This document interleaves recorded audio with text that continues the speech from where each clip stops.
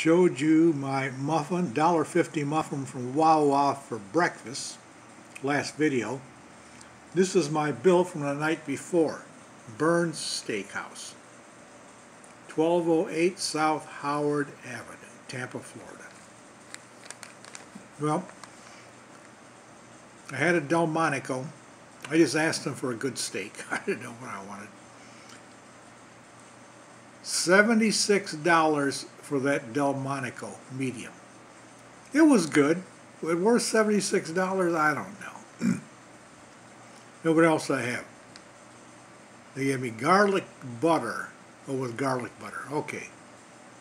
Caesar salad. I didn't want the regular salad. I want the Caesar salad. So that was $11. Penicillin. I got these two penicillin. These are drinks kind of uh, Scotch drinks. They were good. I just wanted something different. Usually I just get uh, Scotch and soda. I said I'll try something different. Those are $14 each. Then I had a glass of wine called Adaptation. I said, just give me a glass of wine, something good. $22.10 for that glass of wine. And as I always say, I really don't know the difference between cheap wine and good wine. I could have got the house wine. Probably would have been $14. Anyways, my total, total, total, total, with tax, $147. Then I gave, where's her name here? Allison.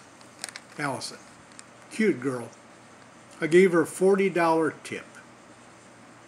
And the standard tip, well anyways, supposed to be like 20%, which would be like 30, so I threw in another 10 bucks because she was a good server. So that was my dinner bill at Bern's. I go from breakfast, a $1.50 muffin, to almost $200 for dinner.